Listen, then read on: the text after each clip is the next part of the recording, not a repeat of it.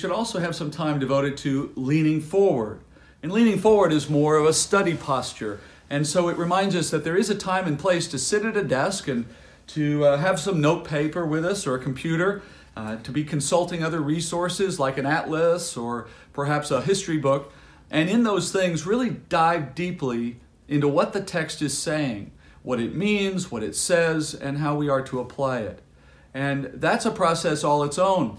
You want to do some of the leaning back and you want to do some of the leaning forward. And in that way, you're able to take the word uh, in a deeper way while also enjoying it.